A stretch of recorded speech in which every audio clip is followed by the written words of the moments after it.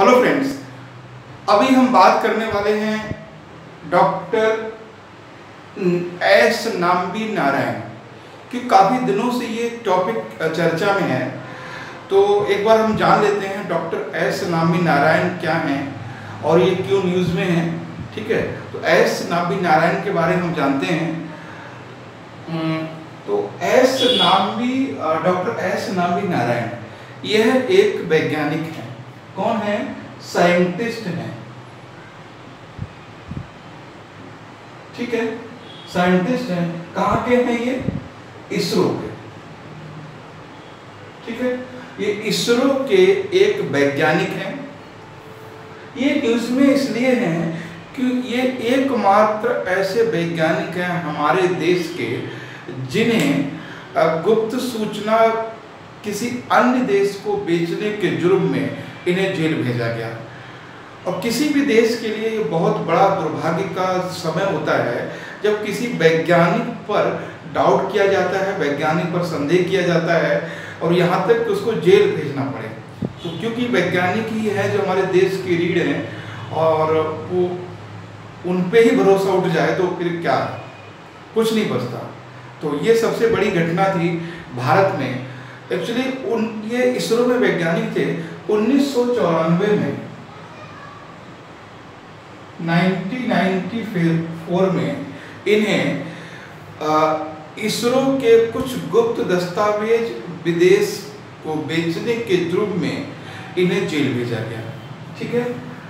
लेकिन उन्नीस सौ अठानवे में सीबीआई रिपोर्ट ने सीबीआई ने इन्हें रिहा कर दिया। ठीक है?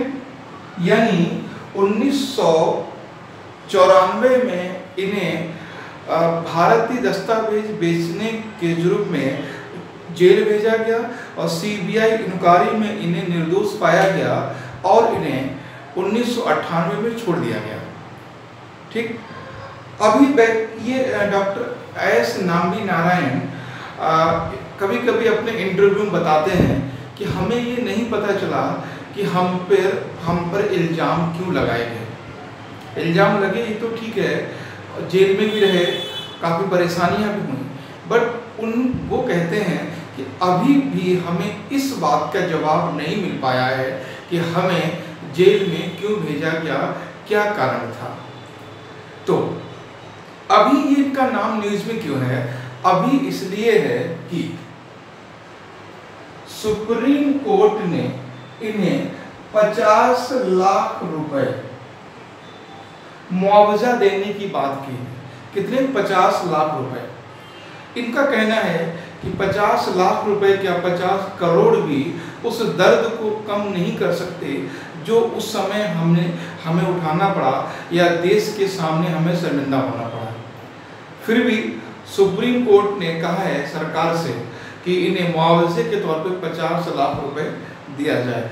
क्योंकि इन्होंने जेल से आने के बाद जो इसरो के चीफ के पद पे मैनेजिंग के पद पे, डायरेक्टर के पद पे काम नहीं किया। उन्होंने कहा कि हम खुद ही टूट चुके हैं। हम खुद ही हमें, खुद पे भरोसा नहीं है। तो हम कैसे किसी प्रोजेक्ट में काम करें? उन्हें, उन्होंने एक डेस्क का काम लिया। क्योंकि उसमें बातचीत कम करनी होती थी, काफ़ी होपलेस थे ये। तो लेकिन ये काम करते रहे। अभी दो तीन दिन पहले इन्हें सुप्रीम कोर्ट ने आदेश दिया सरकार को कि इन्हें 50 लाख रुपए एज ए मुआवजा दिया जाए। एक्चुअली ये जो डॉक्टर एस नाम्बी नारायण हैं, ये क्रायोजेनिक इंजन पर भी काम कर रहे थे। क्रायोजेनिक इंजन पर, ठीक है? ये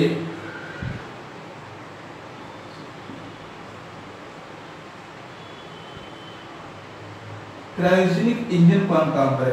क्रायोजेनिक इंजन जीएसएलवी में यूज़ होता है। क्रायोजेनिक इंजन की तकनीक भारत में कुछ समय से पहले नहीं थी। हम रशिया से क्रायोजेनिक इंजन को इंपोर्ट करते थे और वही इंजन हम रॉकेट के साथ भेजते थे। एक्चुअली इसमें जो फ्यूल डाला जाता है, वो माइनस टेम्परेचर में डाला जाता है।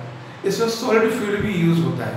तो इस क्रायोजेनिक इंजन में थ्रस्ट अधिक होने के कारण थ्रस्ट धक्का अधिक होने के कारण ये यूज़ किया जाता है।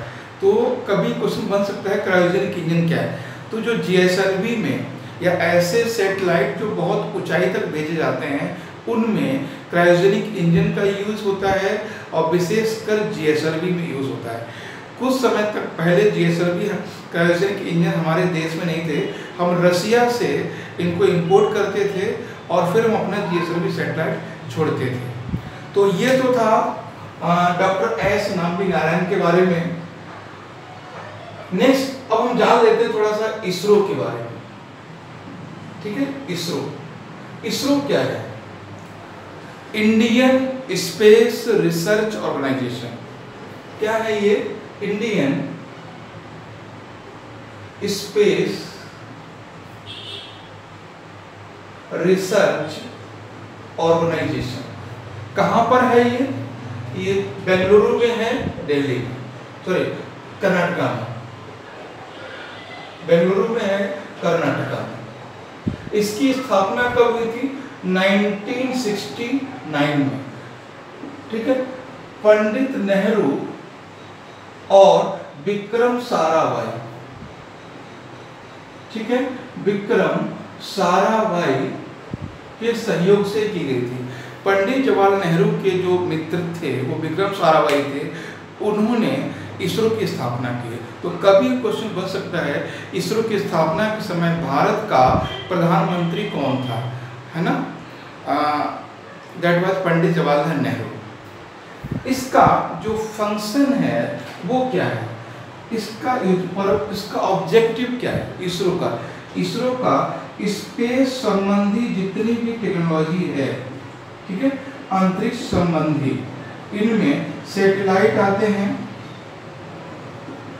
ठीक है सेटेलाइट आते हैं तो जितने भी उपग्रह संबंधी हैं, यानी स्पेस से जुड़ी हुई जो भी चीज़ें हैं, वो सारी की सारी सेटेलाइट हैं, या किसी अन अदर प्लेनेट पे कोई प्रोजेक्ट भेजना है तो इसरो ही उसको करता है।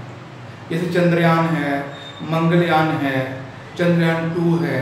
तो इस तरह के प्रोजेक्ट के लिए इसरो ही रिस्पॉन्सिबल है, इसरो ही इसके लिए काम करता है। ठीक है? तो ये तो बेसिक इसरो के बारे में हुई और ये ध्यान रखना है, डॉक्टर एस नामी नारायण साइंटिस्ट हैं, इसरो में, इसरो के वैज्ञानिक हैं। उन्नीस सौ चौरानवे में इसरो के खुफिया दस्तावेज़ को विदेश में बेचने के या साझा करने के जुर्म में इन्हें दो उन्नीस तक जेल में रहना पड़ा। हालाँकि सीबीआई ने इन्हें निर्दोष करार दिया। उसी के चलते सुप्रीम कोर्ट ने अभी कुछ दिन पहले मुआवजा के तौर पर 50 लाख रुपए देने का इन्हें ऐलान किया है और ये एस नामी नारायण हैं, वो तो क्रायोजेनिक इंजन से संबंधित थे डॉक्टर माधवन नारायण का कहना है कि अगर डॉक्टर एस नामी नारायण को जेल नहीं जाना पड़ता या जेल नहीं भेजा जाता तो हो सकता है, हो सकता है क्या? डेफिनेटली है कि क्रायोजेनिक इंजन बहुत पहले बन गया होता। ठीक है? तो ये तो था स्पेस इसरो के बारे में। ISRO Indian space research organisation कहाँ पर है ये? बेंगलुरु में है। कब इसकी स्थापना हुई? 1969 में। किसने करवाई है? पंडित जवाहरलाल नेहरू और और विक्रम साराभाई ने। और ये स्पेस संबंधी प्रोजेक्ट पे काम करता है। ठीक है? तो ये तो थे डॉक्टर एस नामी नारायण। तो नेक्स्ट टॉपिक में हम नेक्स्ट टॉपिक नेक्स्ट क्लास में हम नेक्स्ट टॉपिक करते हैं। Thank you